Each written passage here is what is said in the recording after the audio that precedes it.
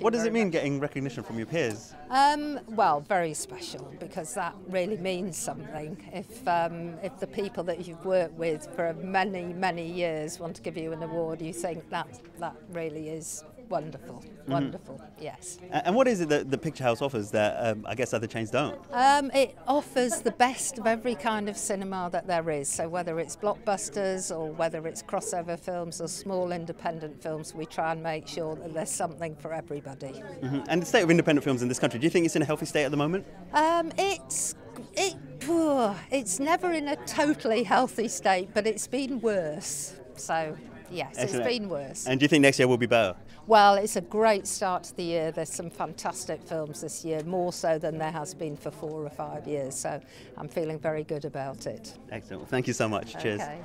Ladies and gentlemen, you're watching Hey You Guys! Hey, you guys, huh? Hey, you guys. Is that yeah. from the Goonies? It is indeed, yeah. Nice. Hey,